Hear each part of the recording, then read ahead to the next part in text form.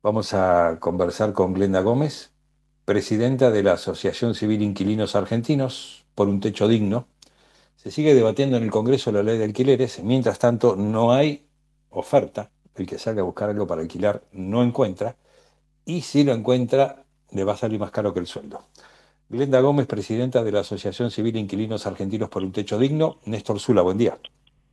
¿Cómo estás, Néstor? Muy buenos días. Bien, muy bien. Bueno, eh, entonces, sigue dando vueltas la ley ahí en el, en el Congreso, no se aprobó.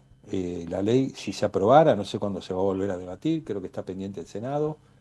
No sé si vos tenés información de cuándo se va a debatir o a aprobar, y si se aprueba, ¿qué beneficios va a traer? Exacto.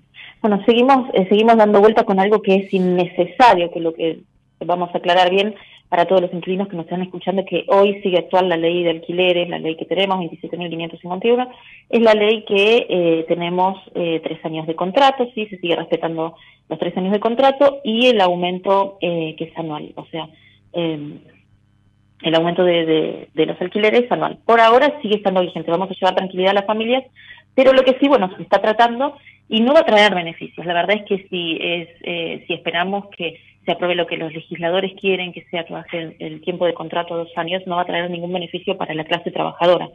Eh, acordemos que para que los inquilinos tengan que renovar un contrato cada dos años, eh, tienen que salir a buscar un préstamo, ¿sí? Entonces ese préstamo significa que vos te tenés que volver a endeudar más endeudado de lo que ya estás, porque sacaste un préstamo que todavía no terminaste de pagar para una renovación o un nuevo contrato de alquiler. O sea que eso implica que a las familias trabajadoras llevarle un peso mucho más grande del que tienen. ¿sí?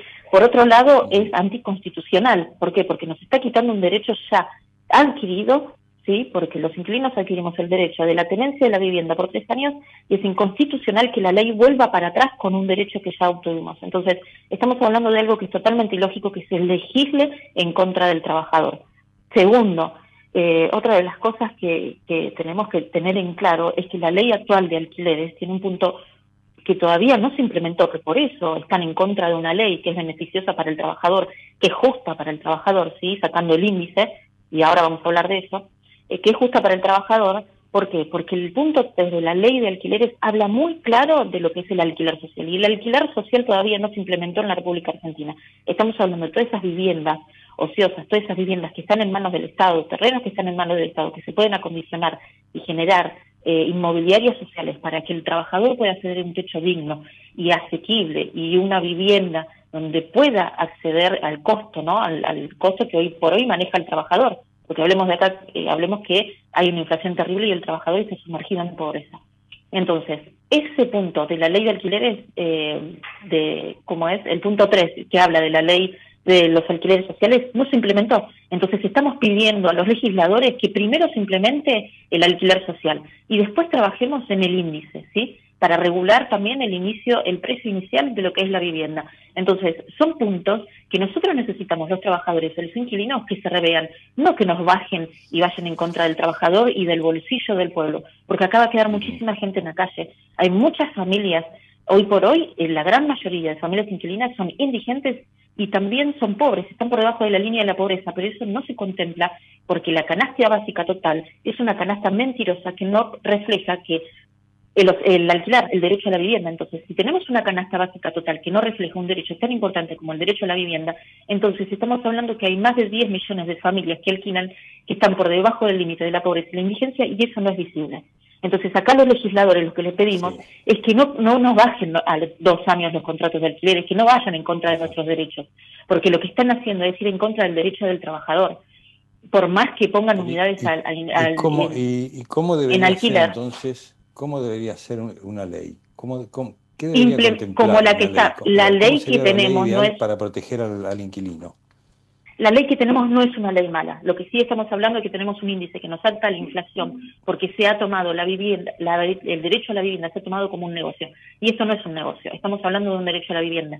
En la República Argentina hace más de 50 años que no se hacen, no se realizan políticas habitacionales porque se ha tomado el derecho a la vivienda como un negocio muy grande. Por eso el Estado tampoco implementa el alquiler social porque para ellos también es un negocio. O sea, acá estamos hablando de una gran mano negra que el Estado está haciendo eh, la vista gorda, entonces hay eh, este, este punto 3 del alquiler social hay que implementarlo ya. Implementen la ley como corresponde.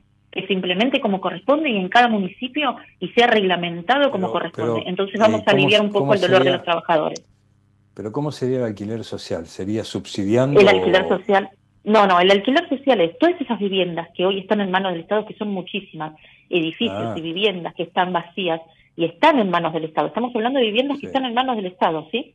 que no, no, no mezclemos las cosas. Esas viviendas tienen que ser acondicionadas igualmente que los terrenos que están en manos del Estado, tienen que hacerse eh, eh, eh, propuestas para los trabajadores, para que el trabajador pueda pagar su techo, ¿sí? Como era antes, o sea, créditos para hipotecarios, el mercado, el, mercado, exacto.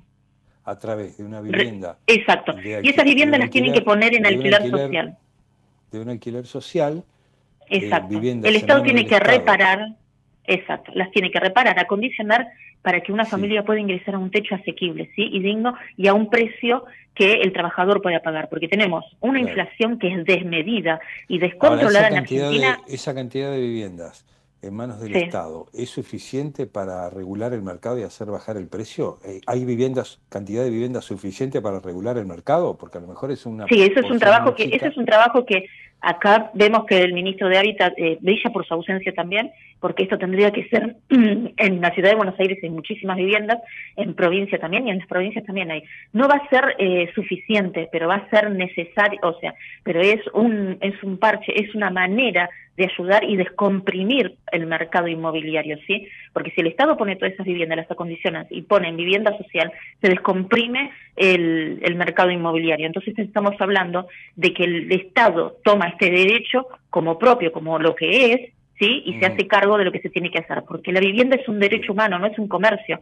No podemos seguir negociando con la Cámara de Comercio ni las cámaras inmobiliarias nuestro derecho a poder vivir bajo un techo. O sea, el trabajador no puede pagar el valor de los alquileres que hoy están en el mercado. Y esto nosotros no tenemos por qué estar pasando por esta situación. Las familias no tienen por qué estar enfermándose. O sea, estamos hablando de una situación psicosocial grave porque acá estamos hablando de que las familias, estamos hablando de familias que tienen enfermos con situaciones oncológicas que no pueden hacer tratamiento porque tienen que pagar un alquiler. Estamos hablando de jubilados que están muriéndose de hambre y no pueden pagar un alquiler. No pueden comprarse una dentadura, no pueden comprarse los anteojos, no se pueden comprar los remedios, pero tienen que pagar un alquiler. Estamos hablando de familias jóvenes que no pueden ingresar a un alquiler y prefieren quedarse formando una familia o no formar una familia en la casa de los padres. Estamos hablando de hacinamiento, porque las familias tienen que reducir de tres ambientes a un ambiente. Entonces el hacinamiento es peligroso. Estamos hablando que hay familias que se van a vivir a las villas porque no tienen otra manera de solventar un alquiler. Nos estamos hablando que el 80% del sueldo del trabajador está destinado a la vivienda y no se está contemplando que la vivienda es un derecho humano, señores, no es un comercio. Y esto es responsabilidad plenamente del Estado y de la justicia argentina. Háganse cargo. Y de los legisladores, que son a quienes nosotros pagamos el sueldo. El trabajador paga el sueldo de los legisladores. Entonces pónganse a trabajar a favor de los del pueblo y no a favor del comercio y del bolsillo de ustedes. Bueno, Glenda Gómez, presidenta de la Asociación Civil Inquilinos Argentinos, por un techo digno. Muchas gracias. Gracias a ustedes. Muchísimas gracias. Buen fin de semana. Muchas gracias.